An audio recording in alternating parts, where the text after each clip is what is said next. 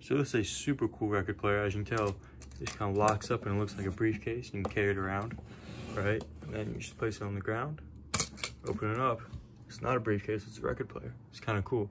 Uh, obviously, you can tell here, record spins here. It looks kind of small, but trust me, your records will fit on it. Any size record will fit on it. Just barely clears it, but it clears it perfectly.